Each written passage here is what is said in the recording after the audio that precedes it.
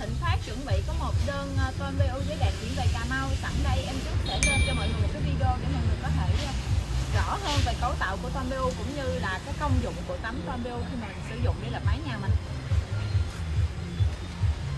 Đây, mình có thể nhìn thấy cấu tạo rõ của tôm BU ha, là gồm 3 lớp lớp tôn lớp phơm BU và ở dưới đây là lớp giấy bạc.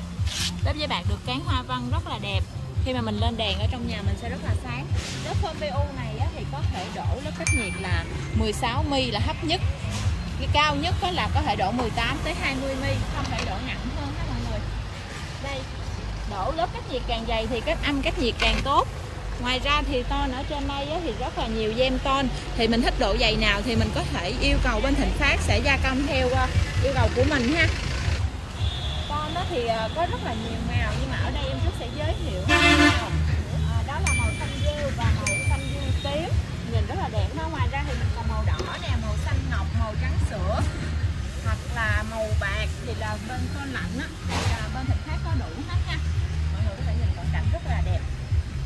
Cái này là sẽ đơn hàng về Cà Mau nè còn đơn hàng này là sẽ về Bình Dương. Thì khi mà mình sử dụng ờ, cái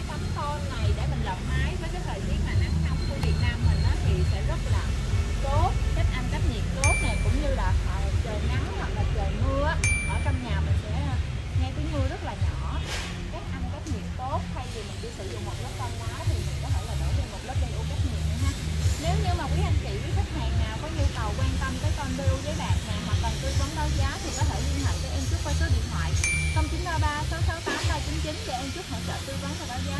Cảm ơn mọi người đã theo dõi video và hẹn mọi người ở những video tiếp theo. Xin chào.